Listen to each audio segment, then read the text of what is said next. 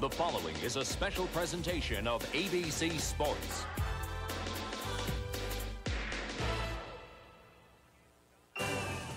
Last year's Texas-Oklahoma game was dominated by defense, and on this play, the University of Texas defense returned an Oklahoma fumble that turned out to be the difference in the game as the Longhorns won it for the third year in a row. Today, here in the Cotton Bowl, they meet yet again. A sellout crowd on hand. ABC's college football today presents a CFA matchup and a great traditional rivalry the Texas Longhorns and the Sooners of Oklahoma. Hi, everybody. I'm Steve Zabriskie, along with legendary college coach Bo Schembechler, formerly of the University of Michigan. We welcome you to ABC's College Football for a tradition-laden game. There are a lot of cliches you can throw around about this one. Suffice it to say, they've been playing since 1900. They've been here in Dallas since 1929, and they're going to get it on. And it really doesn't make any difference that neither team's in the top 10 this year. Tradition tells, and I think, Bo, perhaps unlike last year's game where defense did dominate, this year might be a game of quarterbacks. And for Texas, Peter Gardere has a chance to win this game four times in a row. Passing has dominated both teams. Peter Gardere is one of those college quarterbacks that doesn't have a real strong arm, doesn't do things spectacularly, but he knows how to beat you. If he can stay away from interceptions, he's thrown 37 in his career, he could lead Texas to victory this afternoon. Well, on the other side of the ball, Oklahoma has Cale Gundy. Maybe not quite as experienced as Peter Gardere, but he too has proven he can win, Bo. Cale Gundy is a strong arm, classic passer. He's the type of guy that throws from the pocket. He can throw on the run. He throws off balance, and he's got a gun to do it. And he can win if he can throw for 300 yards this afternoon. Oklahoma will win this game. Well, even though the defense may be having a little more pressure on it than they had last year, I think you really feel like the defense might be the difference after all. Well, I like the defense of both teams, but I think Oklahoma has a little stronger front. The front seven men are, I could put a lot of heat on Gardere. In the secondary, I think the nod would go to Texas. Texas has three returning veterans back there to Oklahoma's one. But the overall defense is probably in favor of Oklahoma. And they've got some great team speed as well. Well, we said it's part of the state fair. Outside this stadium, on 277 acres, the fair goes on. There's all kinds of food. There's cotton candy. There are rides. And there are about as many people outside that really won't see the game nor care that much about it as there are inside. Those inside, however, don't even know the fair is going on. 75,000 on hand and working with us on the sidelines this afternoon, a fellow who's been a part of this game in one capacity or another for almost 20 of these affairs. He comes to us from our ABC affiliate in Oklahoma City, Dean Blevins. Dean. Thank you, Steve. Barring a tie in this game, one of these head coaches, Gary Gibbs of Oklahoma or John Mackovic, will win his first Oklahoma-Texas game. Neither coach really considered an emotional kind of guy before big games, but he, what they were today. Oklahoma's coach Gary Gibbs just talked to his team. He said, guys, this is a very very emotional thing. Don't let your emotions get out of control and get too many penalties. It'll be a long afternoon. The first five minutes will not decide the winner. John Mackovic was very intense in his locker room. He brought in legendary Darrell Royal to talk to the team last night. And guys, Royal said this game is bigger than he even realized when he coached. It's a big one, guys. It always is, Dean. Dean will be reporting on the sidelines, bringing you some of the flavor of this great game where half of the stadium, 50-yard line around, is Oklahoma. That's to your right. And the other half to your left, the University of Texas. 45, Michael Thompson and 23, Duell Brewer are back deep to receive for the Oklahoma Sooners. Texas won the toss. They elected to defer. And Scott Szeredy will kick it off. He left foots it. It is a line drive that Thompson will let land in the end zone for a touchback. So the Sooners will go first and 10 from their own 20.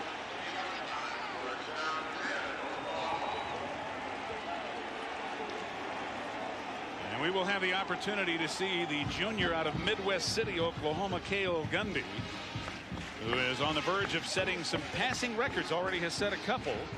And he's third right now in passing efficiency in the entire country. As this game goes along, Steve, there could be a win factor. Right now, as far as the passing game is concerned, I don't think it'll matter. Kicking game may be a problem.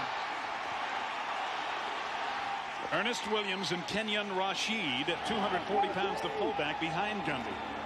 Rasheed driving forward for almost five in the grasp of Anthony Curl, number 42, senior linebacker out of Houston. Here's the backfield lineup with Collins, Warren, and Mickey, the receivers. Well, interestingly, they ran uh, Kenyon Rasheed in the first play. He could get the ball a lot if they feel they can control that Texas front. Well, he picked up five, second and five at the 25.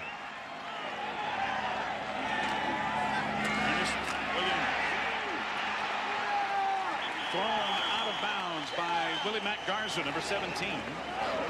The free safety, short of a first down. It'll be third and short. Here are the big guys up front for Oklahoma. You see a couple of them in the 300-pound range, and an interesting story in Ressler, Bo. Well, Ressler, of course, um, has no left hand, and uh, interestingly, he's playing in the offensive line. Uh, that one hand is very difficult, particularly if a defensive player goes to his left. And we will watch him. It's third and one. One back set for Oklahoma. Gundy's first pass, and it's complete. Corey Warren breaking free.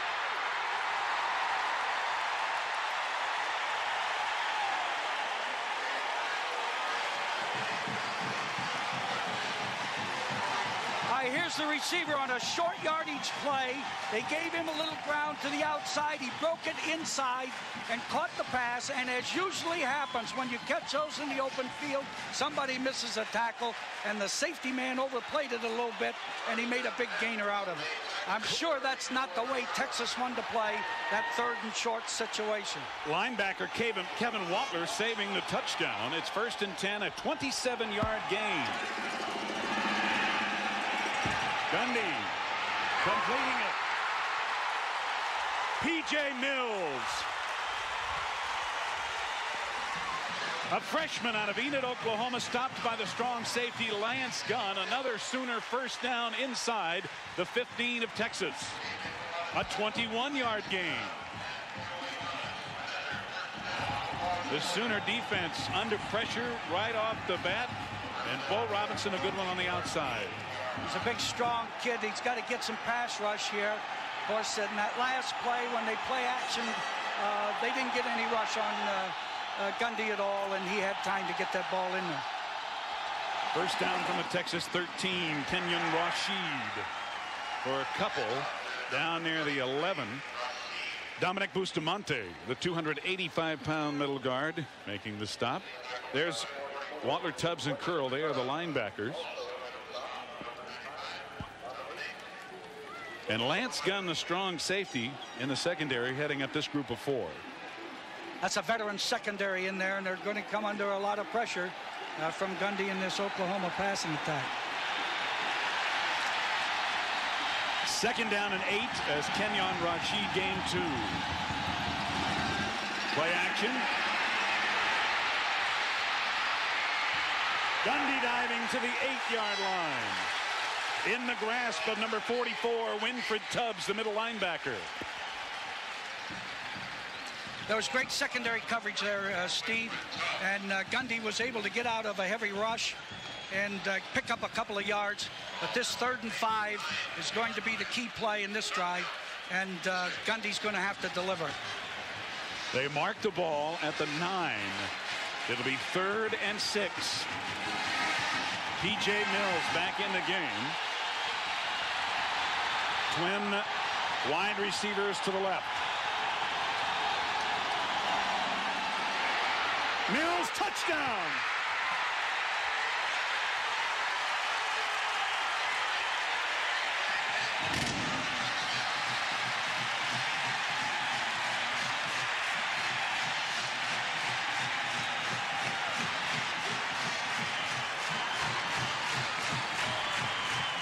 Here's that play again. There were three receivers out to the left. the inside of the three receivers. The defensive man played him on the outside. As you can see, there's still room to get inside, and if there's room to get inside, you got a good chance to hit that. That is a difficult position for a defensive back to play because that receiver can go both inside and outside. And it was Joey Ellis, a sophomore out of Tyler, Texas, who was beaten by freshman P.J. Mills. The Sooners make the extra point, and with 11.50 to go in the first, they're out in front, 7 to nothing. An impressive 80-yard drive by the Oklahoma Sooners. They mixed up the pass and the run, and they, on their first possession, lead 7 to nothing. It took 3 minutes and 50 seconds and only 7 plays. There's Mike Adams, the deep receiver for the Longhorns. Scott Blanton uh, will do the kicking off for the Sooners. Cale Gundy really put on a show in that uh, first drive. He was perfect. And they used play action as they often do very well. Blanton, a sophomore out of Norman, kicks it high and deep. And Mike Adams at the one. Across the 15 and tripped up. A penalty flag is thrown. And there's some extracurricular activity already. that may not be the last time that we see a little pushing and shoving going on. I want you to know I've been in some intense rivalries in my day, but this game is something else. This game, the 87th meeting, and look at that Oklahoma coach. I think that's Lucious Selmon, yeah. who was grabbing the Oklahoma player, and it's going to be against Texas. Well, here's Peter Gardere. He is 3-0 against the Sooners in his senior season.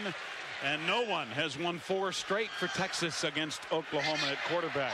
So he has a chance to make some history today. This is not where he would like to start, uh, right from your own uh, nine-yard line. But um, I really believe uh, with Johnny Mackovic over on that sideline, that Gardere will come out right now and start throwing the ball. John Mackovic in his first season, the Longhorns two and two having lost their first two and won their last two games. And it is first and 10. Texas first possession from their own nine. Phil Brown, the long setback behind Gardere.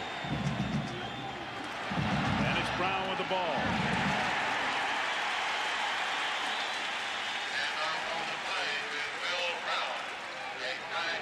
Some more shoving going on. Here's the diehard starting lineup for the Texas Longhorns.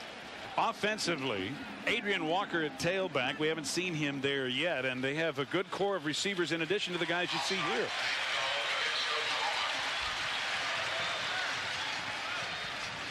Adrian Walker is an all-purpose guy. He catches the ball out of the backfield. He's a good, solid runner.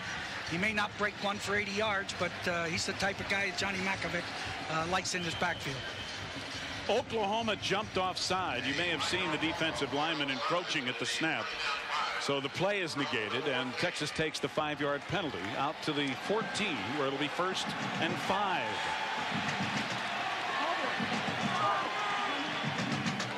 The pitch.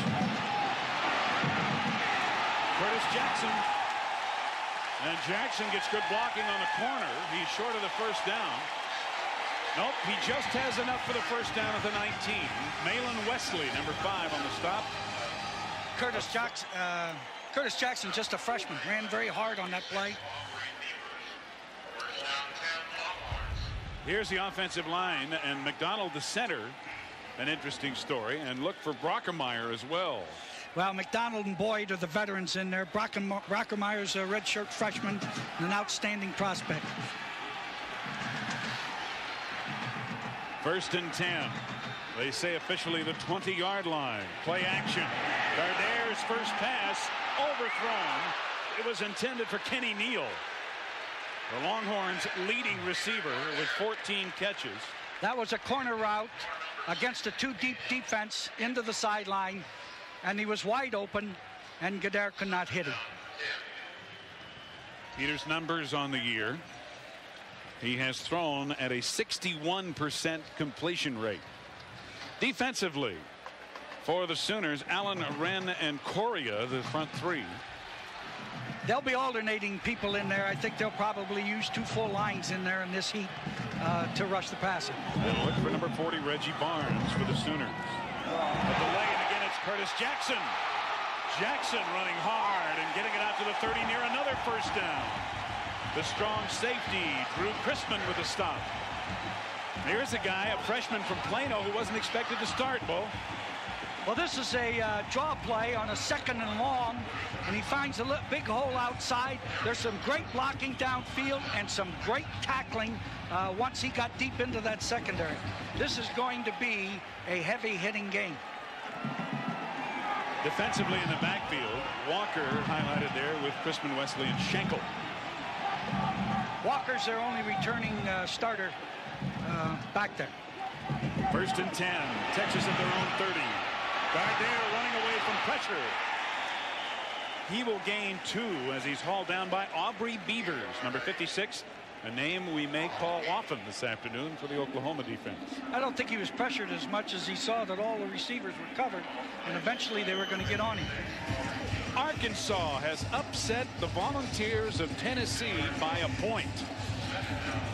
Anything can happen any Saturday afternoon. As you know all too well, right, Coach? Hey, for sure. Second and eight from the 32.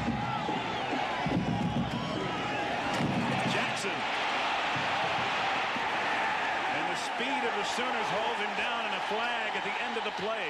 Terry Collier, number 30, ran him out of bounds or dragged him down. I think he had a face mask penalty here. This Curtis Jackson looks to me to be a pretty good running back. Let's look and see if we can see the grab of Jackson's face mask. Right in your left-hand side of the picture, the left arm grabs the face mask and twists it just so ever so slightly. That's a five-yard penalty. So it's tacked on, moving the ball out beyond the 39 of Texas. That is not an automatic first down. They're a little short of the first down. It'll be second down and one. Just about a half yard to go. Number 33, Anthony Holmes, a freshman running back out of San Antonio, into the game for the Longhorns, and they think a lot of him as well. And some preliminary movement along the line, and flags flying, whistles stopping play. Looked like Corey Wilson, number 99, for the Sooner defense may have jumped early. Nope, he was pulled offside. Joe Thomas, the referee, says it's against Texas. Offense, second down.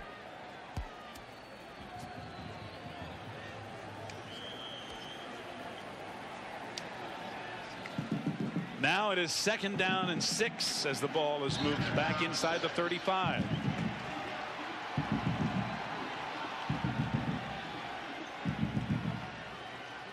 Anthony Holmes on the delay. Fighting for a few yards. Let's get an update. Back to the studio, John Saunders.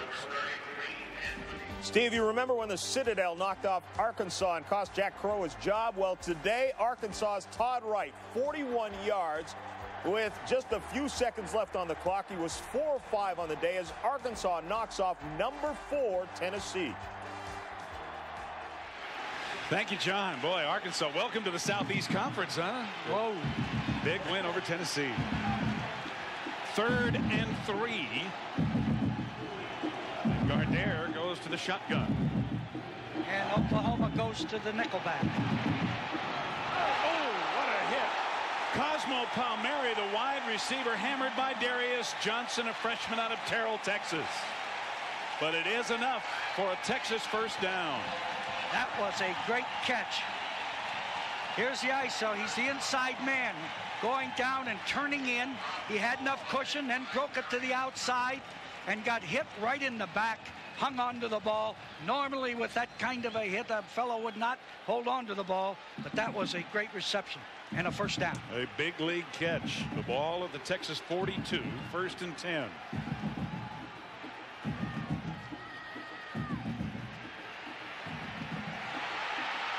Incomplete, intended for Justin McLemore, a sophomore out of Waxahachie, Texas.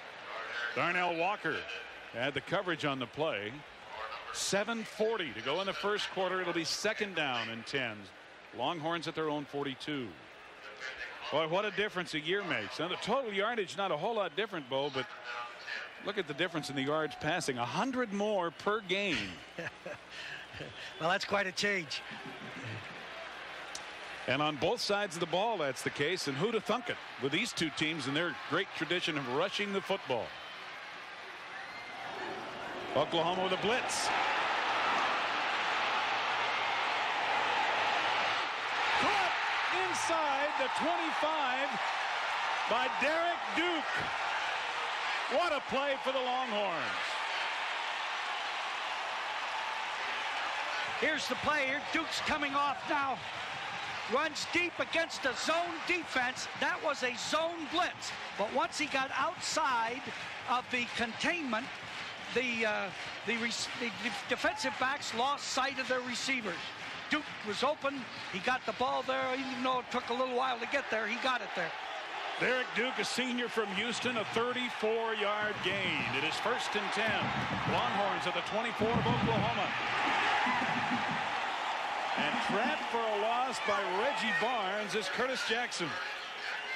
Reggie Barnes out of Grand Prairie, Texas, along with Beavers out of Houston. Two guys that can wreak some havoc for that Sooner defense. Reggie Barnes has uh, great speed and movement. He got underneath the fullback's block, squeezed that sweep where they had to cut it back in, and there was nothing there.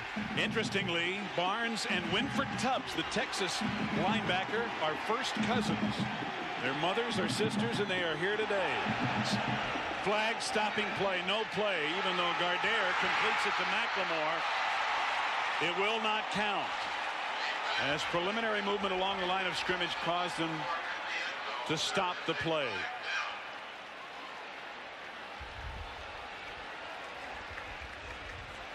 I think we had some movement along the front uh, for Texas. Still a pretty nice throw, though.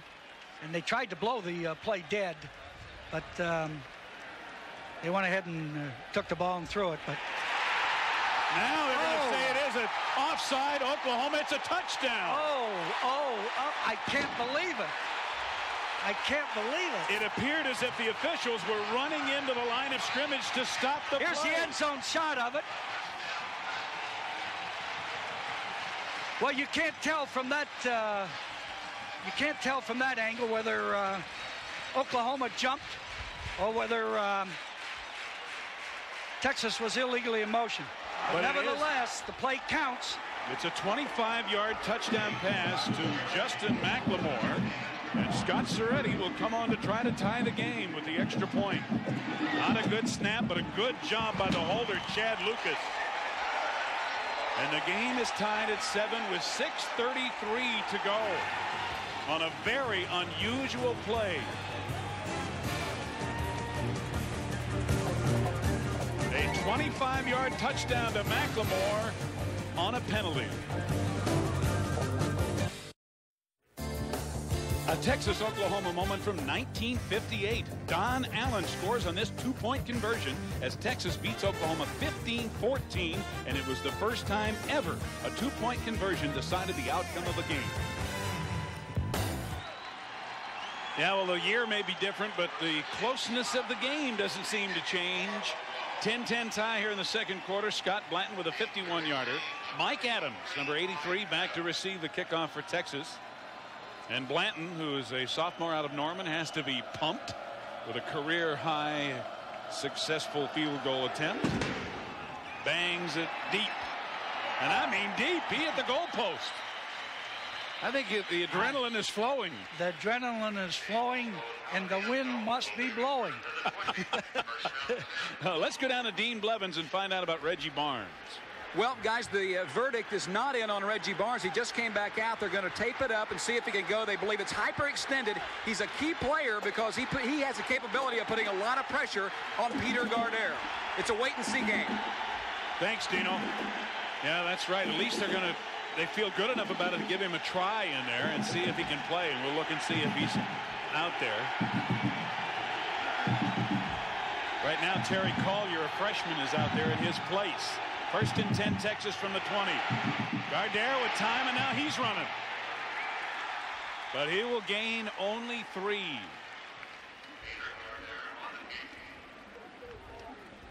He's hauled down by Aubrey Beavers. Trey Trippins is in there for um, Trey Tippins is in there for Barnes. He has been a starter. He's been around. He's a three-year letterman. So they're losing something, but not a, you know, not a great deal uh, by him not being in there. Tippins, a senior out of Snyder, Texas, 6'3 and 230. They give Gardere two yards on the scramble. It's second and eight. Play action. He's running again.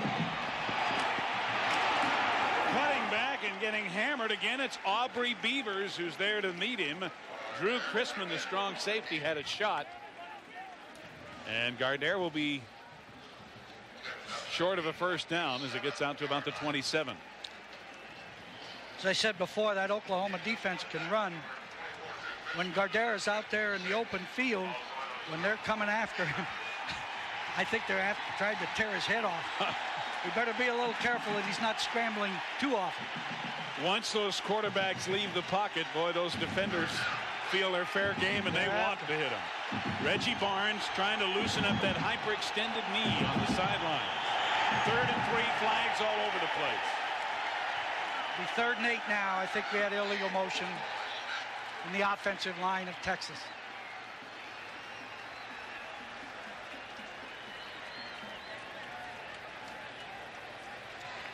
Here's Joe Thomas and the call. The illegal procedure, Texas is correct. When those offensive linemen are in a two-point stance, getting ready to set back on their pass protection blocks. Sometimes they start to lean backwards and they jump before the ball is snapped. It happens frequently. You got to be careful that those men stay on the balls of their feet until such time as that uh, starting count is barked. So the Longhorns are moved back to the 22.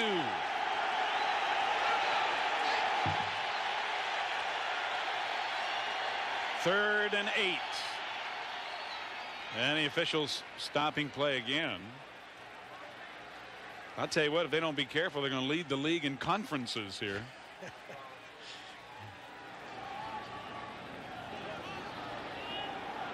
that is a sideline warning. They want Oklahoma to move back. Gary Gibbs and company encroaching. See that big long white stripe there? They're supposed to stay behind it. And the Oklahoma fans, and that's the end of the field where Texas is operating, are responding negatively. Out of the shotgun, Gardere running again. All down short of the 25. Darius Johnson, Trey, Terry Collier, and others. So Texas will punt it away on fourth down. Joel Brewer, number 23, standing back inside his 35. That was a poor series for Texas. He was under pressure constantly. The protection broke down. And um, now they're going to lose field position. Kelly McClanahan, the punter, is run into. Knocked down by Tink Collins. Here's Brewer. And we're going to have at least running into the kicker. Now another little bit of extracurricular activity and another flag is thrown. As Anthony Curl gets into it with somebody. And Darius Johnson. So we got flags at both ends of the field. The punter gets a good snap. Comes up and gets the ball away.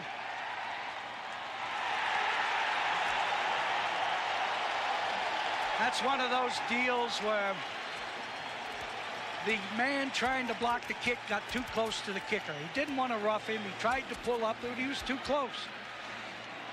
It's so hard to get football players to try to block those kicks out in front of the kicker where they don't run into him. Yeah, they always want to run right to the guy. Here's Right to McClanahan again. Notice how close he is to the kicker when he gets there. See, he's right there. He could never block a kick in the first place. He should be way out in front of that kicker. Well, the personal foul against Oklahoma. Personal foul, defense. First down. moves the ball out. And now they're marking off a second personal foul at the other end of the play. So the Sooners hit twice, and it moves the ball to the Oklahoma 48.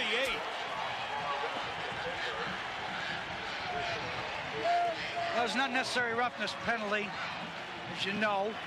However, I must say, I've been to a lot of football games in my day. The intensity in this game is something special. That it is, and it's been that way now for 87 different times. Curtis Jackson cannot get outside. Mike Coates, number 41, and Ricky Wren, the nose guard, also jamming up that play as he floated outside, and Coates made the tackle. A loss of about a half a yard.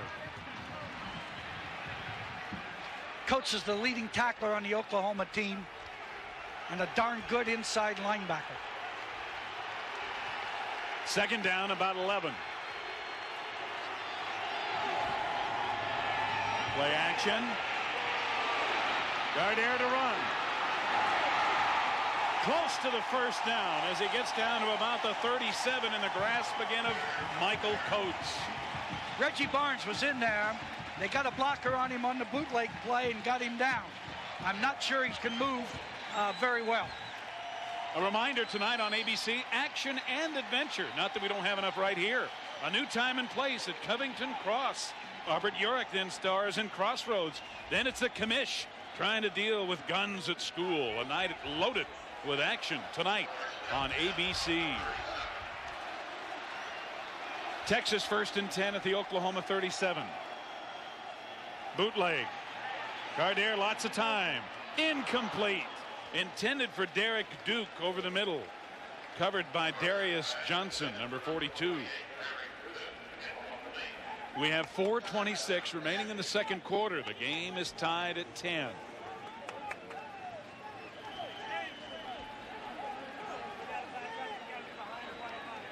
Gardere now has completed 7 of 13 for 115 yards and a touchdown. He has not thrown an interception. Phil Brown, 29, into the backfield for Texas. Oklahoma bringing him, but they give it to Brown, who busts it close to a first down. Tripped up by Larry Bush. They blitz the two inside linebackers, Steve, and the ball carrier split them on the draw.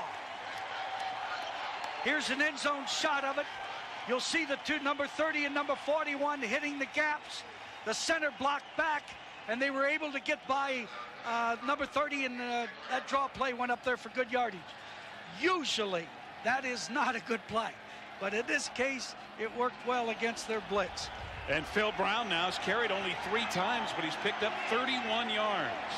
Brown, a junior from Commerce, Oklahoma. First and 10, Texas. Incomplete. Running between the defenders was Mike Adams. Darnell Walker on the coverage. And the pass just a little bit overthrown. It'll be second and 10. The ball still at the 26 as Brent Beecham single signals in the play. Mike Adams, uh, true freshman, great gifted athlete that they think is going to be an outstanding receiver at Texas. From right down the road in Arlington, Texas. Anthony Holmes, another freshman, 33 in at running back, and he has it. Holmes across the 20 and a penalty flag thrown into the pile by the umpire, whom you see there, who is Bill Voss. And it looks like holding against Oklahoma. That That's what it's the call. be. So the run by Holmes another freshman, this time out of San Antonio, is wiped out. And here's the call from referee Joe Thomas. Offense. Repeat second down. Well, instead of being on the 21, now you're on the 31. Strategy now changes. You'll have to go to the air here.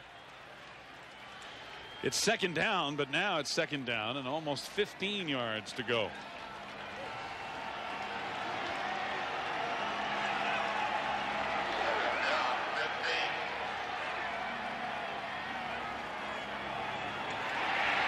They pick up the blitz.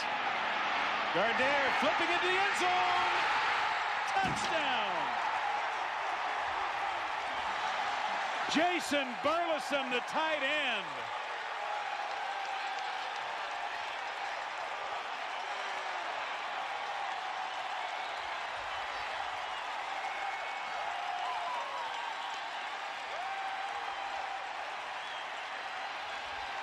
Jason Burleson, a senior out of Sherman, Texas, not used very often. He's been injured on top of that, and he catches a 31-yard touchdown pass.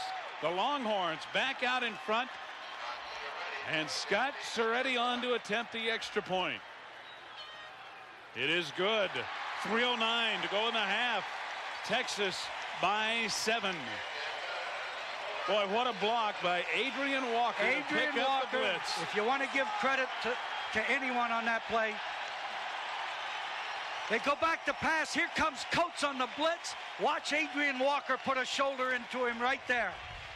That is the man that made the play go.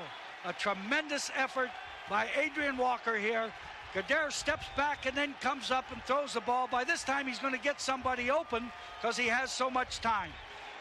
But they've there's, that is the best offensive play of the day so far is Adrian Walker. And a nice catch by Burleson right on the fingertips, keeping it from touching the ground.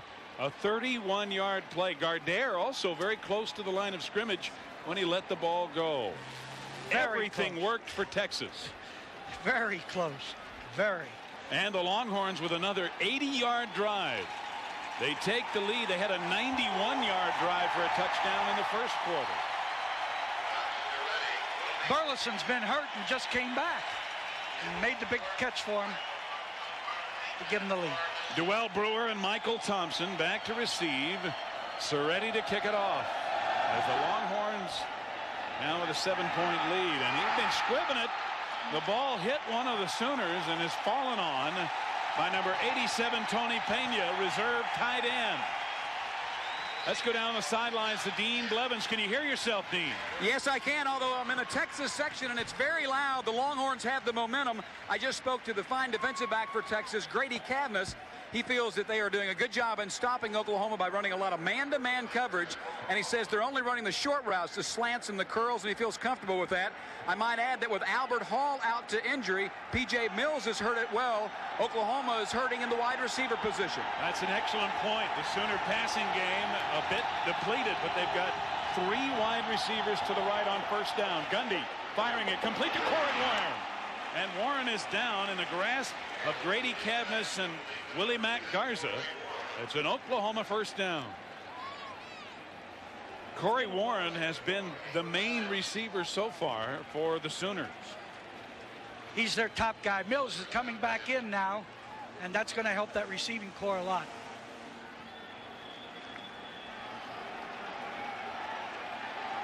The ball just inside the Oklahoma 38, first and 10. 2.45 remaining in the first half. Gundy may be checking off. Incomplete. A breakdown apparently in the route. Ernest Williams out of the backfield. But nobody near the ball as Bo Robinson was putting pressure on Gundy.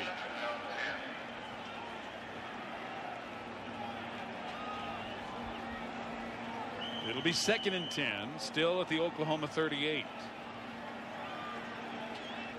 And Gundy waiting for the play to be brought in. It's Corey Warren who is bringing it in as Gary Gibbs uses the wide receivers to shuttle in the plays.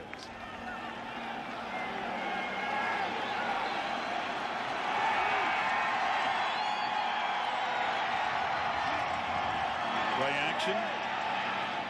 Gundy flipping it out incomplete. Intended for Warren, but poorly thrown, underthrown. Joey Ellis had the coverage on Warren. And it'll be third and 10.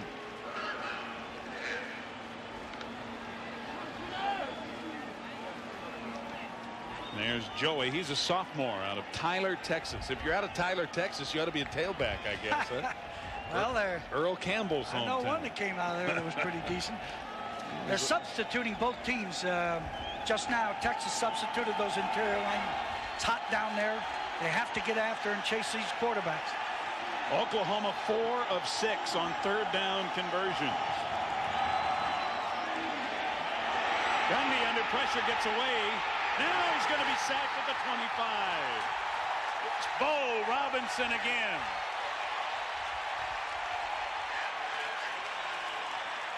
And coach, you talked about both Norman Watkins and Bo Robinson and how key they were. They really put the pressure on Gundy that time. Well, Robinson's made some plays. He's been in on some plays so far this half. He's a great football player. Here, Gundy goes back to pass, and uh, the receivers were really well covered. So he has to take off running, and here comes Robinson. He ran right into Robinson, who uh, was able to get him. Great pressure by Texas on the punt. Riddell gets it away, and there will be no return as it will roll dead near the 30 yard line of Texas. A 45 yard punt. And with 139 left to play in the first half from the Cotton Bowl, Texas leads favored Oklahoma 17 to 10. First and 10 Texas. Gardere from the shotgun gives the inside handoff to Curtis Jackson. And Jackson getting it out to about the 34 for a gain of four tackled by Mario Freeman at halftime. Moments away the Prudential halftime report with John Saunders. John of course will have scores and highlights for you as well as Keith Jackson having a report on today's game between Miami and Penn State. Texas going without a huddle and a completed pass. Curtis Jackson out of the backfield short of the first down very short gain of about a yard and a half is all across the 35 and the Longhorns will continue to go without the huddle with a minute left to play in the half. Gardere firing it complete. Phil Brown out of the backfield stopped by William Shankle and Phil Brown may have just enough for the first down he does. So the chains will be moved and that'll stop the clock with 54 seconds remaining. Texas at their own 41 first and 10. Another short pass complete to Curtis Jackson hit immediately by Darius Johnson and the clock running now with less than 40 seconds. Texas only has one timeout Steve so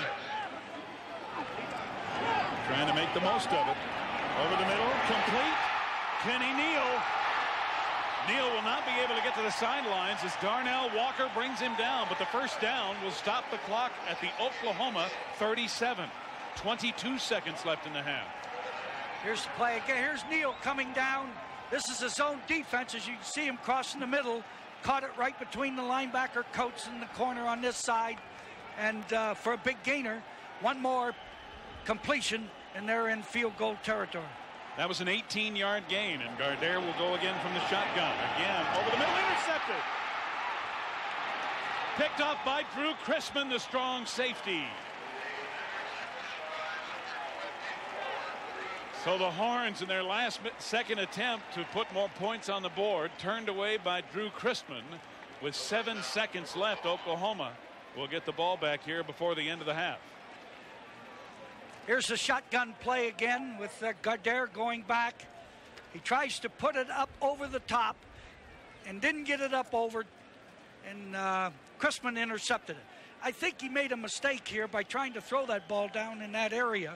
I, I think they would have been uh, better off to try to get a sideline uh, cut and get out of bounds because uh, by the time the interception was over, there were only seven seconds left anyway. Yeah, they were, I think, hoping for some type of a field goal, but to no avail. Gundy looking for something big at the end. He's telling him to go deep, and he's throwing deep. Intercepted by Lance Gunn. Corey Warren chasing him. And Gunn runs out of bounds on the far sideline with time having expired. It has been a typical Battle of the Red River. Texas leading Oklahoma at halftime by seven. Our halftime activities in just a moment. Cotton Bowl sold out as usual as Texas and Oklahoma meet for the 87th time. Texas leading by seven at the half. And let's go back and look at some of the scores that have led to this 17 to 10 halftime encounter. Here's the first touchdown. Oklahoma's Cale Gundy going nine yards to P.J. Mills. They had three receivers out to the uh, left. Mills is the inside of the two receivers. The Texas defensive back lined up a little bit on his outside. He ran the quick slant inside and he hit him for a touchdown. Then Peter Gardere came back and hit Justin McLemore. There was a penalty on Oklahoma on the play and McLemore right down the middle of the field. He was wide open on the post cut. It looked like there was some illegal motion in the um, by Texas, but uh, as they ran it back, it uh, didn't show, so the play counted. Now this play, watch Adrian Walker, the running back, pick up Mike Coates, number 41, right there on the blitz. Gardere to Jason Burleson, the tight end.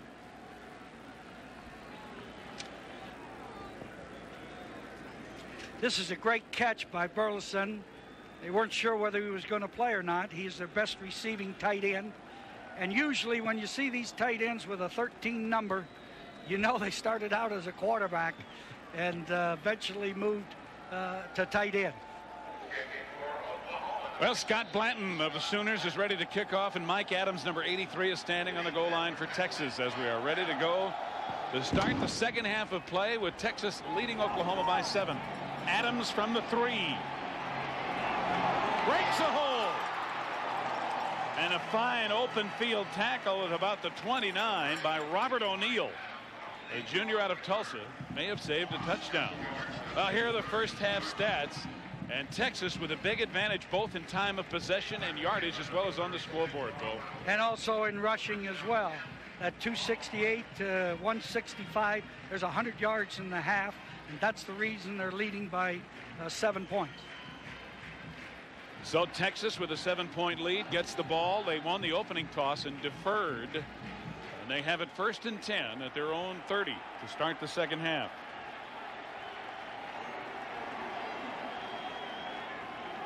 Phil Brown, the lone setback.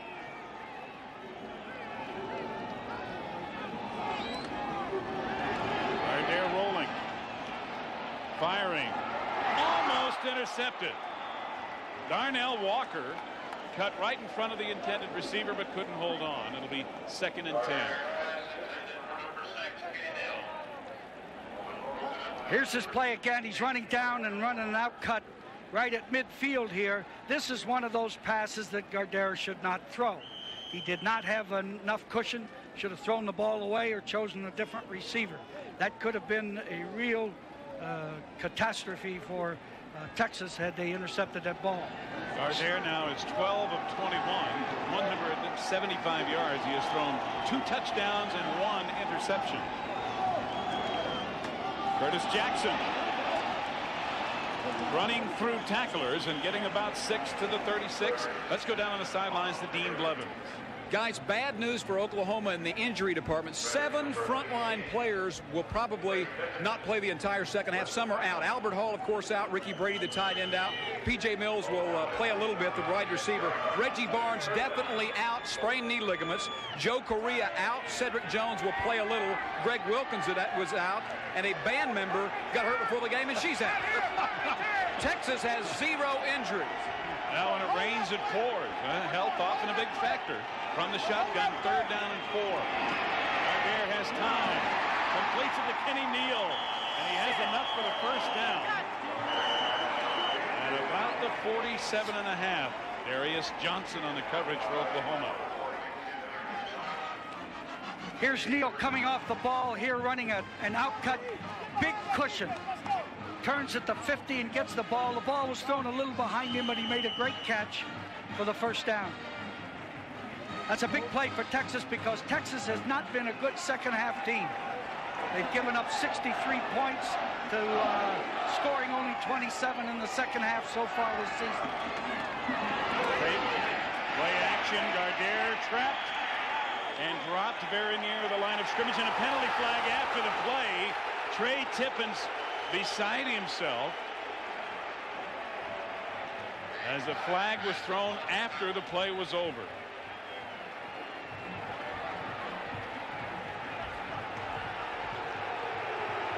And it is against the Sooners. Personal foul, helmet contact, 15 yards, first down. They hit him in the head, and it's a personal foul against Oklahoma. Gardere's scrambling here, and just as he goes down, number 30 Collins puts a headgear right on him. You cannot do that. That's a 15-yard penalty. Terry Collier, a freshman, freshman rather, out of Munday, Texas. And a big penalty, moving the ball inside the 40 of Oklahoma. First down. Curtis Jackson.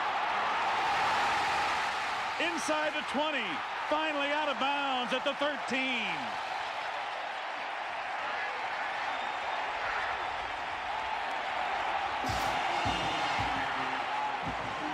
Just a freshman out of Plano, Texas. Curtis Jackson with another big run. All right, uh, Curtis Jackson here on a first down draw play. They isolated number 41, coach of the big. Uh, These two men who missed the tackle in there took a bad angle, and this Jackson has good speed as he broke it to the outside. A big, big play. Drew Chrisman, the strong safety, finally knocked him out of bounds. But the Longhorns are right back at it, first and 10 at the Oklahoma 13.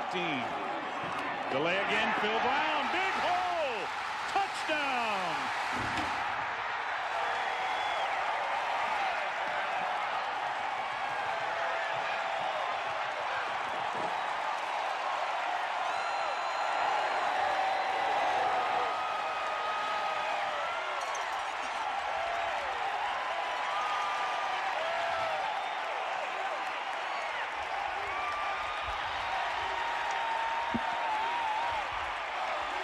For the first time in 36 quarters of play, Texas scores a rushing touchdown against the Oklahoma defense. And they do it on yet another impressive drive.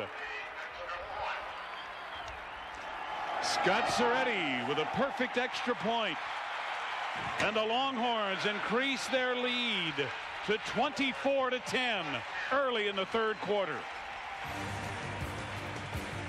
Here's a delay counter in there. The guard pulls and traps out. Big 67 ceiling inside, and Brown takes it in standing up. We're at the Cotton Bowl, and this game has been played in this stadium since 1937. Steve Zabriskie and Bo Schembechler with you for the annual Texas-Oklahoma game, the 87th meeting of a game that began in 1900. And as Texas has been able to do for the last three years in a row, the Longhorns here in the for the fourth year in a row have the lead 27 to 10 four minutes and 18 seconds to go in the third quarter. But Oklahoma driving. It is second and one at the Texas 20 Rasheed jammed up and stopped for no gain. Norman Watkins and Anthony Curl combining on the stop and when you can stop that 240 pounder you're doing a good job It's hard to wrap uh, a, a, uh fullback that size. And usually when they get jammed like that, he's had the ability to spin off because he's a very nifty 245 pounder. Gary Gibbs has not yet beaten Texas as the coach of Oklahoma. He never lost to Oklahoma when he was a player for Barry Switzer back in the 70s. Timeout now called on third and one at the 20. The Sooners want to talk it over as Gundy didn't like what he saw. This is what Oklahoma needs to do, though, Bo. They've been able to move the ball really for the first time here in the second half. That's true, and of course uh, they had the big running play where they bro- blocked it extremely well, and I think they'll probably uh, start to mix that up a little bit in there. The last play where uh, he put the last remaining back in motion, I think was a quarterback draw, and it was jammed up inside. He broke it outside uh, to get it down within one yard of a first down. Now, this drive is key, I, I, would think. If you were there with the headset on talking to Cale Gundy, what would you be saying? I would tell him right now we have two chances to get a first down here, and that is our primary goal. We must score on this drive, but the key thing right now is to get a first down and uh, keep the uh, keep the drive going. Not only are we in four down territory, you might say, but it's a four down situation.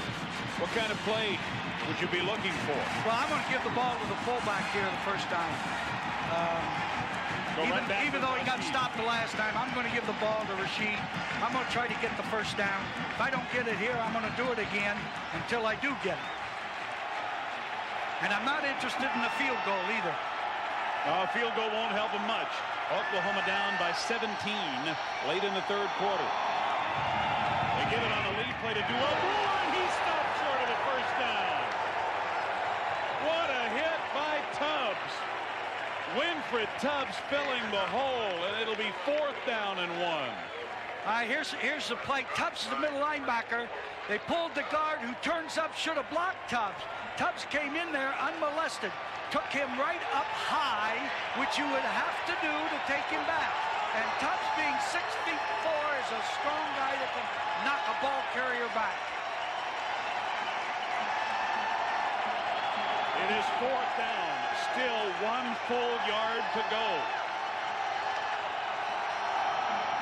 Rasheed it's going to be close. I think he's got more than enough, however, as they unpile. Rasheed with second effort in the grasp of Anthony Curl has the first down for Oklahoma. It doesn't look good, but it got the job done. It took two smashes to get it, but they got the first down. That's key. Now, uh, Gibbs is in a position to do whatever he wants. He wants to throw on first down, fine. Oklahoma first and 10 now at the 18 of Texas. Under three minutes remaining in the third quarter. Plenty of time left for the Sooners, but they do trail by 17 points. Three wideouts to the right. Gundy looking that way. Intercepted! Picked off by Tubbs!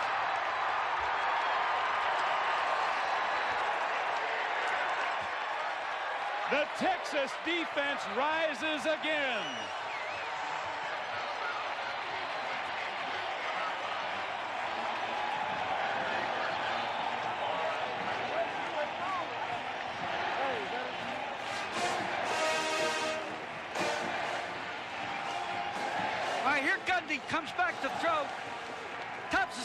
Linebacker, just flows over. It was man-to-man -man coverage all the way. Tubbs was free to flow with the ball. He read Gundy's eyes, and he didn't put much on that ball. He laid it up in the air, hoping the guy would run under, and the guy who ran under it was the middle linebacker. That is the third turnover for Oklahoma, and the Longhorns go back on offense. Curtis Jackson cutting it back and getting out to about the 26. Tackled by Trey Tippins, number 88. This Curtis Jackson is a good young back, and he hasn't been featured in a ball game this year up until today, and he's responded extremely well.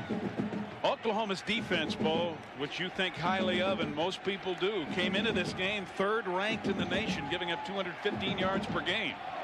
Texas right now has gained 404 yards, and we're still in the third quarter. Gundy moved before the snap. Or Gardere, I should say, moved before the snap. And I believe we're going to have the illegal procedure against Texas. That is it. He's second and 11 now. He did that a little bit on that touchdown to McLemore. That's, that's why we thought. That's why we thought it was coming back. But no, Brent Beecham signaling in the plays. Beecham is a senior, so his chances of playing quarterback much are going bye-bye with Gardere and his tremendous success against Oklahoma. Even when he has not had success elsewhere during a season in his four years here at Texas, Peter Gardere has somehow figured in a Texas win against Oklahoma. Can he do it for the fourth consecutive time? Second and 11 and the ball knocked in the air. Aubrey Beavers tipped the pass, number 56. And it'll be third and 11. Beavers at 6'2 and 230, a junior out of Houston. Oklahoma substituting on third down to get their best pass rushers in the interior of that line. And one of those coming into the game is David Campbell, a sophomore at 6'1 and 280 out of Oklahoma City. He comes in as a defensive lineman on passing situations. Texas 5 of 8 on third down conversion. Gardere firing incomplete, intended for McLemore, who tried to make a diving catch. It'll be fourth down. Let's go down to Dean Blevins.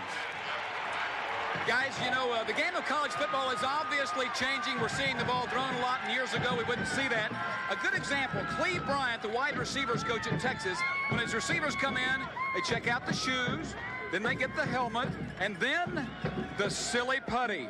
His players actually grip the silly putty to strengthen their hands. Back to the action. Not a bad idea. Kelly McClanahan to punt. And he punted one time earlier, but a penalty wiped it out. So this is his first punt, fumbled by Oklahoma, and Texas has it. Dewell Brewer dropped the ball, and Doug Livingston, a sophomore from right here in Dallas, fell on the football for the Longhorns.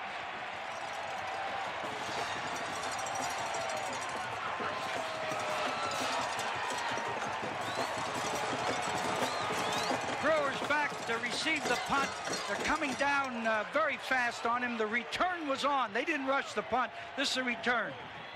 The problem is that he did not get the ball put away. The ball was not up in his armpit. He had didn't have leverage on both ends of it. And when he got hit, he fumbled. It was Gerald Crawford, a reserve running back, who caused the fumble. Livingston recovered. Gardere back to the air. First and 10, Phil Brown spinning and breaking tackles at the 25 of Oklahoma.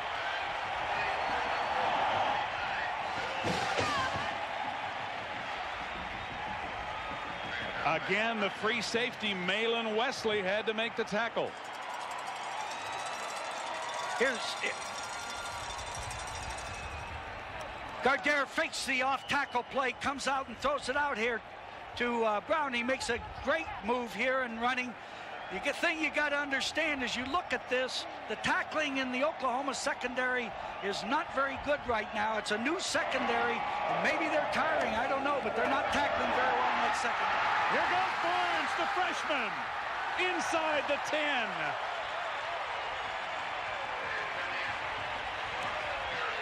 Anthony Barnes out of San Antonio, Texas. He wears number 33 because of Anthony Drew Dorsett. And the Texas coaches think he may turn out to be almost as good as Tony Dorsett. A 16-yard run for the freshman.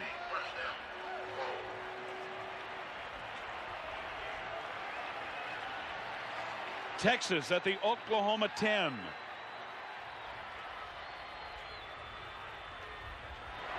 Curtis Jackson staying on his feet and getting three or four yards. Tripped up by Malin Wesley. That's the counter play again. Steve, he broke it outside this time. I'm not sure it was a good decision, but at least he got positive yardage. Final seconds of the third quarter, and it certainly has been all Texas here in the third. Drive after drive. They have turned away the Oklahoma offense with big defensive plays as well. That's the end of the third quarter with Texas leading Oklahoma 27 to 10. We'll return with more action from the Texas-Oklahoma game here in Dallas after this message and a word from our local ABC station.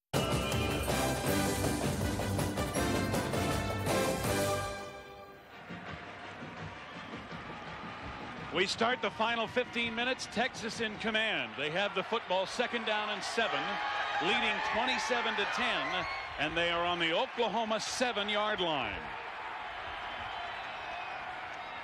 Jackson breaking a tackle and pounding down near the three. You know, Bo, one of the things we talked about in the beginning of the game was Peter Gardere. He's not flashy. He doesn't have a great arm. All he seems to do is win. Peter Gardere is one of those uh, coaches quarterback.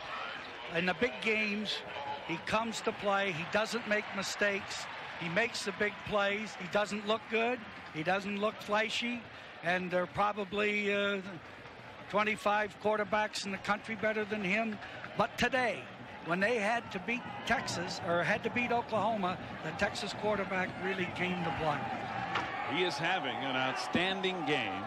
The penalty is against Oklahoma. It'll be marked off. They blitzed both linebackers on that play, and they failed to make the tackle again, and they ended up with positive yardage. The penalty gives them the ball second on the three. Offsides against Oklahoma, and they take it rather than the gain, which was about to the same point, because it saves a down. It is second down and three. Cutting back, Phil Brown, touchdown!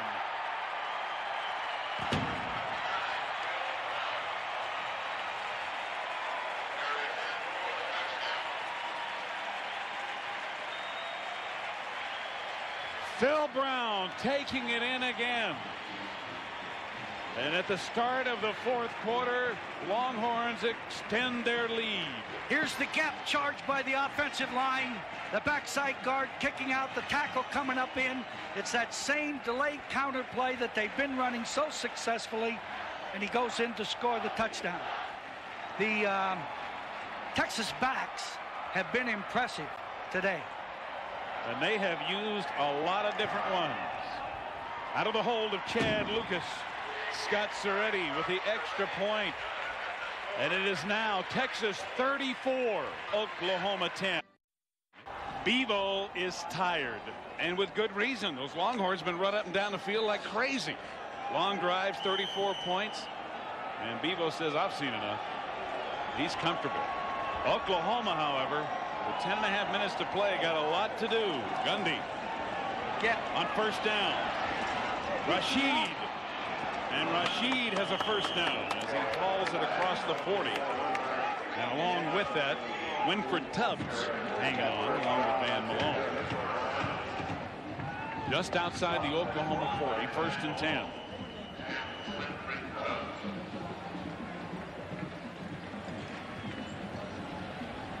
This is where that depleted Oklahoma receiving corps could really start to hurt.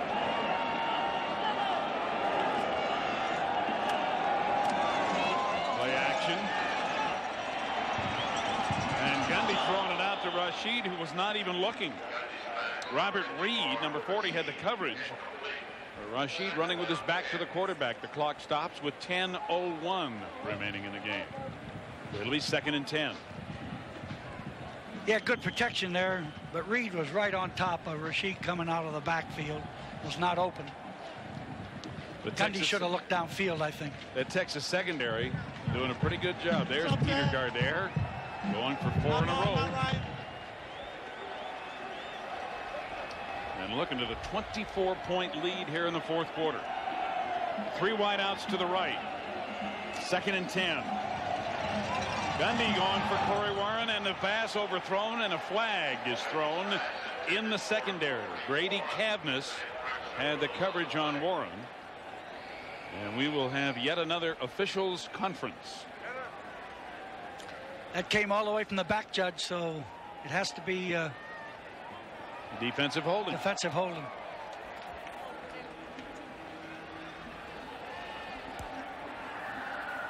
Holding. Defense. 10 yards. Automatic first down. It would have given them a first down anyway. But the automatic first down moving the ball just inside Texas territory across the 50.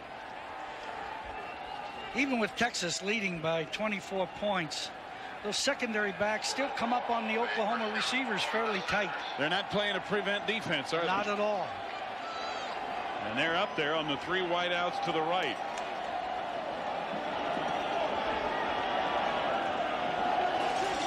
Gundy looking quickly.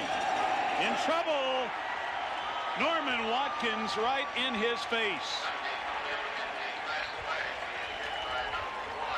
Watkins, a sophomore out of Irving, Texas, just down the road between Dallas and Fort Worth. Uh, here's here's uh, the Oklahoma offensive line. The left tackle sets up here to take on Watkins, but he just throws him aside, comes inside. The, really the sack here was a result of coverage because Gundy stepped up in there. Those receivers were covered, and uh, when they came underneath, uh, he got him. Loss of four. It is the fourth time Texas has sacked Gundy. Rasheed on the delay. Tripped up on a fine tackle by Tubbs. Great play. Tubbs. It's a great play by Tubbs in the open field. That hole was big enough to drive a truck through because they were rushing the passer, not anticipating run. And uh, Tubbs had to make that shoestring tackle in the open field. Rasheed gained five, however, to the 49 of Texas.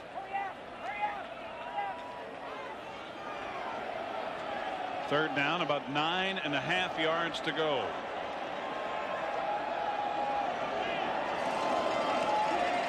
Watkins in his face again, but Gundy gets it away, and Corey Warren with another fine catch.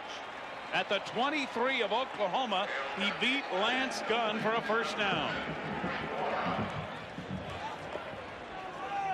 That Texas team stays right up on you. They. Now here's uh, Gundy going back to pass. They're throwing that corner route to Warren. He gets hit just as he throws the ball by Watkins. But it's a perfect pass, extremely well thrown, which proves he's concentrating on the receiver and not worrying about that rush, knowing he's going to take a hit. Corey Warren has caught seven balls for 130 yards. First and 10. Gundy looking for Tank Collins. Throws it out of bounds. Joey Ellis on the coverage. Well, next Saturday, yet another doubleheader for you here on ABC at noon Eastern Time, Penn State and Boston College, or Auburn, Florida. At noon Pacific Time, it's UCLA, Washington State. Then at 3.30 Eastern Time, Tennessee and Alabama. In the Midwest, it's Michigan and Indiana. Or at 3.30 Pacific Time, you'll see Cal and USC. Check your local listings for the game in your area. And remember that the game not in your area may still be available to you through your local cable company on pay-per-view. Joey Ellis is the one who's shaken up on the play and may have twisted a knee or ankle as he went out of bounds, being helped to the Texas sideline. Joey Ellis has played a fine game. I hope that's not a serious injury. And one of the few injuries to Texas. Oklahoma has had a number of players hurt. Let's go take another look at it. Here's the play. Ellis is down here, and he uh, reaches back there, grabs the back of his leg. He either twisted an ankle or hamstring or something. Maybe just has a cramp, we can hope. Ernest Williams carrying the ball. Stopped by Winfred Tubbs. But he picked up a bit of yardage.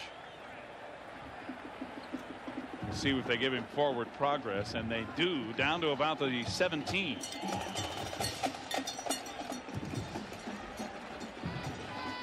Winfred Tubbs, first cousin of Reggie Barnes, the Oklahoma linebacker, a junior out of Fairfield, Texas.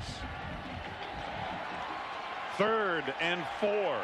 Oklahoma trying to get back in the game here in the fourth quarter. Gundy with good protection. Complete to Corey Warren. Touchdown.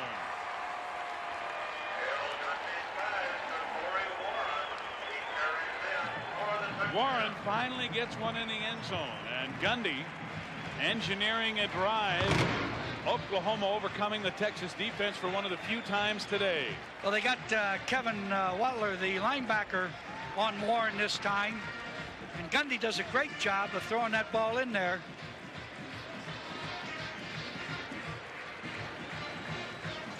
That's amazing that they uh, that they let him get inside that often. You know, after a while, you get that uh, receiver that plays inside to the three receiver side. You got to line up inside, make him run a corner route every time. Well, they haven't cut him off yet. They haven't stopped him. Oklahoma going for two as they trail 34 to 16. Gundy into the end zone. They got it. And again, it's Corey Warren. Corey going to get a little camera time now as he rips that helmet off. He has been one of the few bright spots for the Sooners. It is now Texas 34, Oklahoma 18. A Texas OU moment from 1984, trailing 15 to 12. Texas quarterback Todd Dodge throws this apparent interception, but the Oklahoma player was ruled to be out of bounds. On the very next play, the Texas Longhorns kicked a field goal. The final score was 15 all, and an irate Barry Switzer stormed after the officials after the game. As frustrating as that game was in 1984 for Barry Switzer and company, Gary Gibbs and company here in 1992 probably even more frustrated. Gibbs about to lose for the fourth consecutive year to Texas unless Oklahoma can pull off a miracle in the last five and a half minutes. Gundy firing long. Corey Warren with yet another catch. Hammered by Willie Mack Garza. He holds on again. I'm having a hard time with this tight coverage of uh, Oklahoma. Here's Warren breaking off now, going down. Ellis is chasing him. And here comes the safety over, but he gets there too late. He's playing deep over the middle on uh, wide uh, formations, and he can't get over there to get that play. I Corey Warren has just set an Oklahoma school record with 176 yards receiving in a single game. And he and another receiver are out wide to the right, three wide receivers in, first and 10. Gundy quickly incomplete and almost intercepted by Anthony Curl. It was a linebacker interception by Winfred Tubbs in the third quarter that turned Oklahoma away earlier. Toronto has beaten Oakland, and Toronto, with a tremendous amount of pressure on them to finally win it, leads that series, the American League Championship Series, two games to one. Second down and 10, Oklahoma at the Texas 32.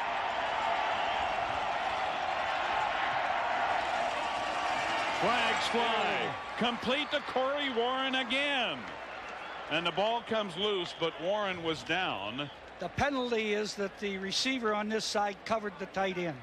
In other words, the tight end released off the line of scrimmage. The man who was flanked outside of him was also on the line of scrimmage.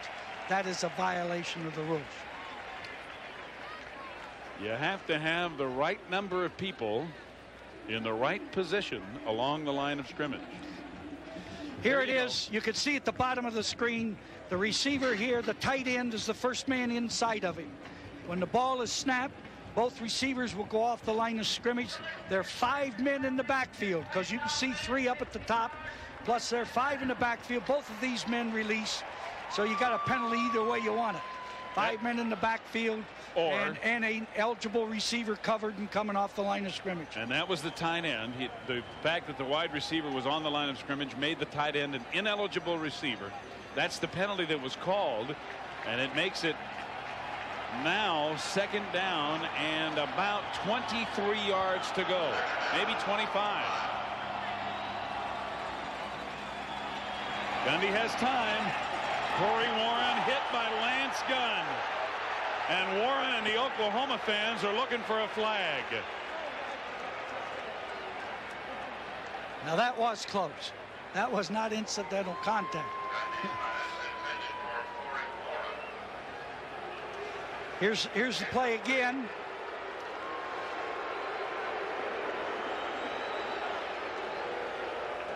Boy, he hit him early, unless they're saying that that's not a catchable ball, but that that that looks like pass interference. The only thing they probably could call was that Warren was unable to get to the ball anyway. And that would mean that it would not be interference. But that was awfully close. Well, there's no question he got hit with the ball in the air. And with the catches he's made today, who's to say he wouldn't have been able to get to it? Gundy on third down. Pressure. Bo Robinson has him.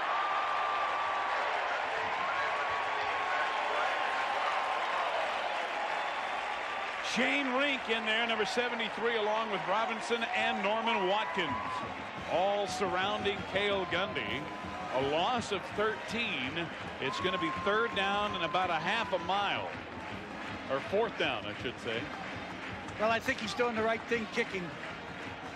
your chances of picking up a play that's going to get a first down there are not very good. They would have to get to the 22-yard line of Oklahoma for a first down. They are at the 42, their own 42. Willie Mack Garza back. The punt.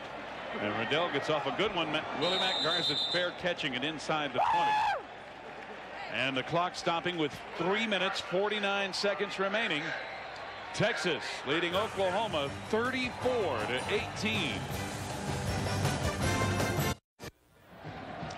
When the game began, half of this stadium was red, the other half was orange. Well, the red half of this stadium is quickly turning into blue and white seats because the Oklahoma fans are departing in droves as they see their Sooners falling yet again to the Texas Longhorns.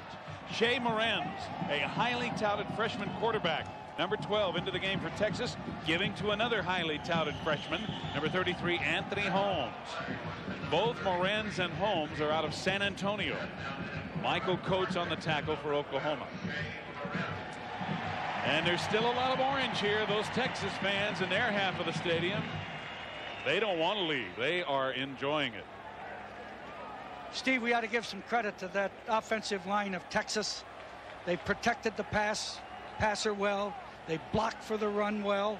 Uh, they did an excellent job. That is a tremendous unit. And I'm sure when they grade those fellas in the meetings uh, Sunday, they're going to find out they played extremely well. And they did not allow a sack today. Let's go down to Dean Blevins again. Dean. Guys, I'm on the Oklahoma sideline now. A group of uh, dejected players. The Sooners are obviously down. They have lost four straight games to Texas, all of which they've been favored in. They are beat up, but actually they were outplayed this afternoon. And with Colorado and Kansas coming up, it's a very tough stretch for the Sooners and a very critical one. The other side, other side of the field, the Longhorns continue the dominance of Oklahoma, and they're looking forward to next week. How right you are, Dean. We appreciate your effort this afternoon. Good to have you with us again. The Oklahoma Sooners, if they do nothing else, are going to have to find out how to beat Texas. You can win the Big Eight. You, got you got to beat Nebraska when you when you're at Oklahoma. But if you don't beat Texas, you're in big trouble. Now Gary Gibbs is going to lose for the fourth time in a row. All four years that he has coached the Oklahoma Sooners. And if you give up 443 yards, your defense gives up that much yardage, you're going to lose. And that has been the case today. And the Oklahoma defense came in ranked in the top five in the country. Shea Morenz getting some more experience with Texas leading 34 to 18. Three minutes left to play in the game.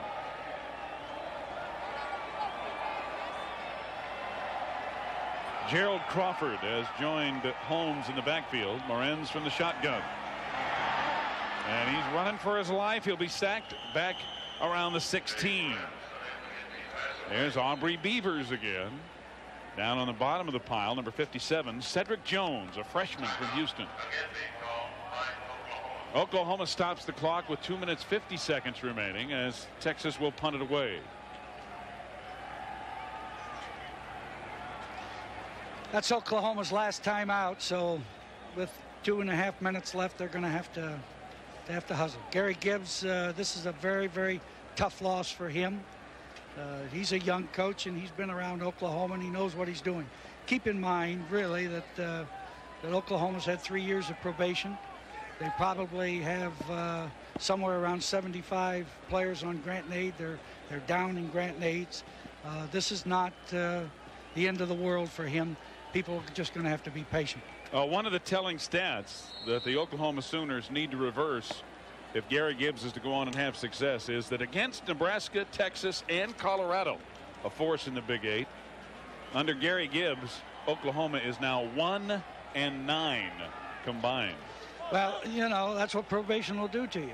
Uh, you know, you have a, that, that was uh, Oklahoma at one time, one of the great programs in the country, and it will be again. But, uh, McClanahan gets it away. Dewell Brewer calling for the fair catch at about the 43. Makes the play. So Oklahoma will try to get something going. A nice 41-yard punt by McClanahan from deep in his own territory. 242 left to play. And the Sooners chances of pulling it out have gone by the wayside but they can salvage something with a drive here in the final two and a half minutes or so. In at quarterback now for the Sooners, number 10, Steve Collins, a senior out of Ennis, Texas. So the Sooners also getting some experience. Three wide receivers to the right. Rasheed in motion to the left. Collins pump faking. Firing deep for Warren and overthrows him. Once again, we remind you yet another doubleheader of college football action for you next Saturday here on ABC. At noon Eastern time, you'll see either Penn State Boston College or Auburn, Florida. And at noon Pacific time, it's UCLA, Washington State. At 3.30 Eastern time, game two of the doubleheader will feature either Tennessee, Alabama, or in the Midwest, Michigan and Indiana. At 3.30 Pacific time, it's California and USC. Check your local listings for the game in your area and check out the possibility of pay-per-view. Rasheed breaks a tackle at the line of scrimmage, breaks another one at the 45, and finally is ridden down at about the 36 in the grasp of John Fike, number 90, a sophomore out of Austin, and Charles Harrison, number 97. That's a, one of the few times Rasheed's been able to get loose. Well, they haven't gone to the draw that much. Uh, of course, they're going to be very vulnerable to the draw right now because they're going to try to keep that quarterback inside, try to get some rush on him, and uh, cover. A gain of 20, first and 10 at the 37. Steve Collins firing. Corey Warren can't hold on. And a flag comes in late on Joey Ellis once again. well, I'll tell you what, for all the Texas success, it hadn't necessarily been Joey Ellis's day. No. The two side judges never said a word. The head linesman and the side judge never said a word looking into it. And, and the uh, back judge threw the flag. Here it is again. Here comes Warren off. Ball's in the air now. I'd say that's interference. He hit him just before the ball got there.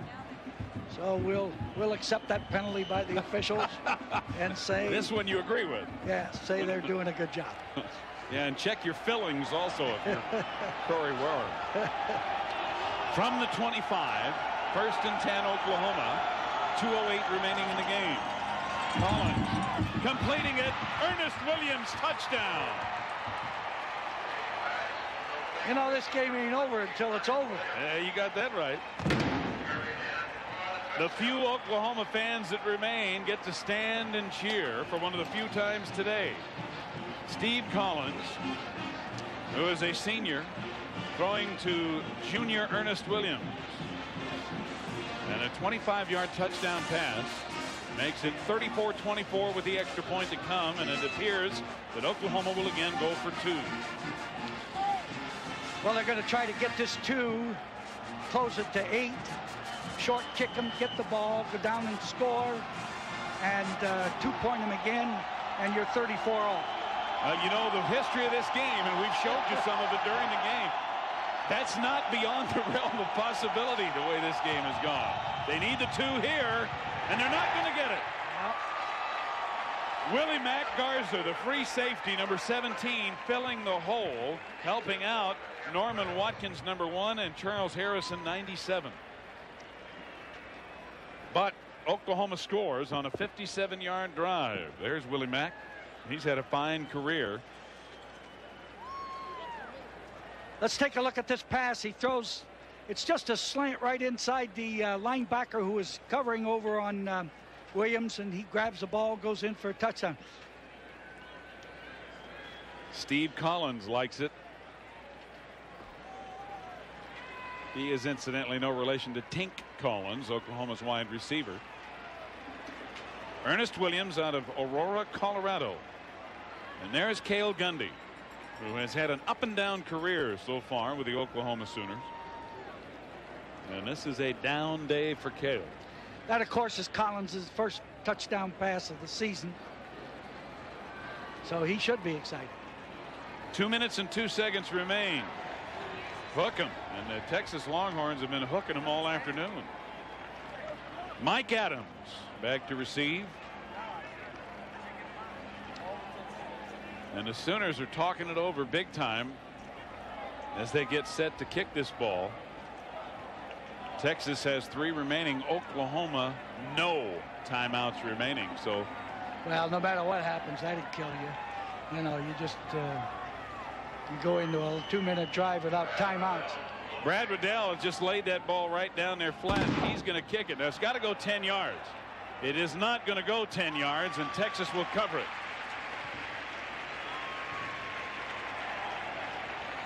Falling on the ball, number eight for the Longhorns, Van Malone. I don't think he wanted to kick it that softly. I think he wanted get a little more juice on it to get it over there. But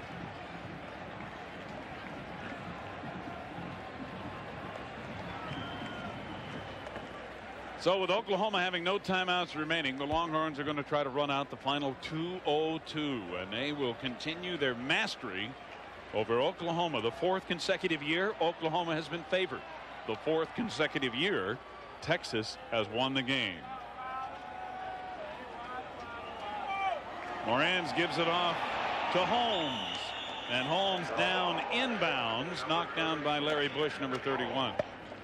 they really don't have to run that ball if they want to run it out. But uh, it's a little more exciting when they run a running play at the end of the game.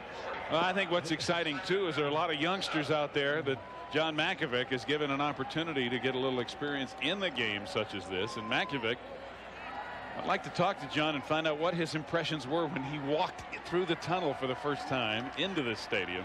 He feels a lot different right now than he did when he earlier this afternoon came in here for the first time. I don't know what his impressions were, but I can tell you right now, he's one happy coach. Holmes again tackled by Mario Freeman as he gains a few. Down to the Oklahoma 37 clock running. Oklahoma cannot stop it as they have no timeouts remaining exactly one minute left in the game. Well, the Texas defense certainly was a factor, but that Texas offense, Bo really controlled the ball and kept it away from Oklahoma all day.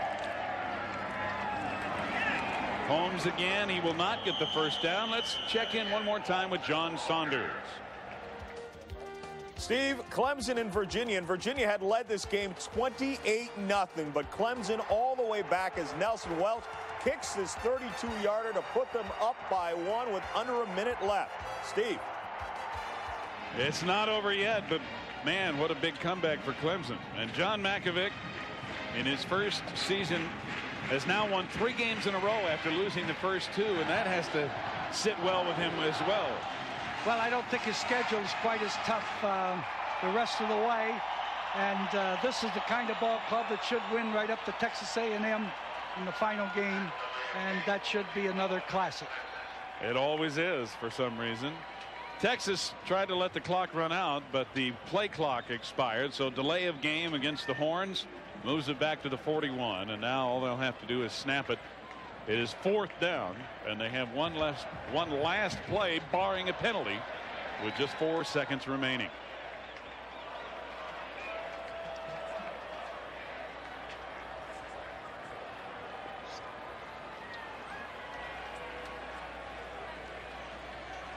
Holmes going to run around till the clock runs out, and he does. Texas does it again. It's not as close as it has been of late. John Mackovic experiencing it in his mind the right way the first time. Winning it 34-24 as Gary Gibbs loses for the fourth time in his four years at Oklahoma. The Chevrolet most valuable players of the game. For Texas, Peter Gardere, who was 18 of 32 for 271 yards, two touchdowns. And for Oklahoma, Corey Warren, an outstanding day receiving the ball with over 176 yards, a new school record for the Sooners. Chevrolet will donate $1,000 to each school's general scholarship fund to reward outstanding students for their academic achievements and to assist those in financial need. For Bo Schembechler and our entire crew, Steve Zabriskie sang so long from the Cotton Bowl in Texas where the Longhorns beat the Sooners again.